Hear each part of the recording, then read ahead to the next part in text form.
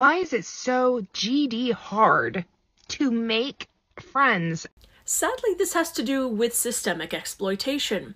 So, one of the things that the creation of the nuclear family has done is essentially create cubicles of life. We have little tiny cubicles of existence with little singular families that cannot possibly keep up with all of the work that must be done to maintain a family.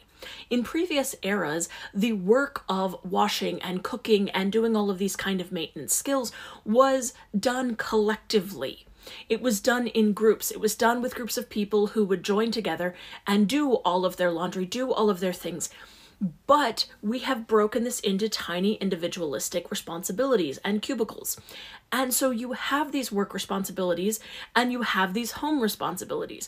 And there's not much in between those other than paying for some kind of public activity. Paying to go to a restaurant, paying to go to the movies, paying to go to an event, paying for anything you do in public.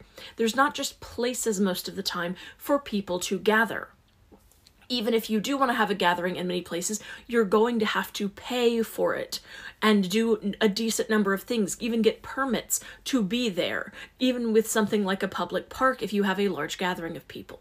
So we have commodified everything in our lives to the point where we can't make friends. It has to be a chance encounter in something that's a transactional engagement, somebody who works someplace, somebody who runs into somebody and happens to have a conversation.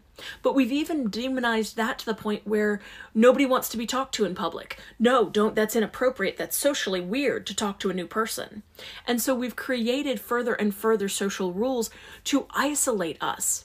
And so the only time we can make friends is in these weird in between places or in work where there's a lot of risk to our professional uh, oversight, right? Because those are high control in a capitalistic society.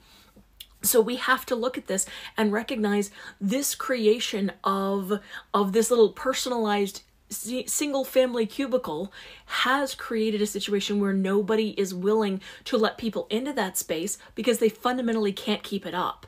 They can't keep the clean house and the work and have enough money to go do the events and do everything else. It's very rare.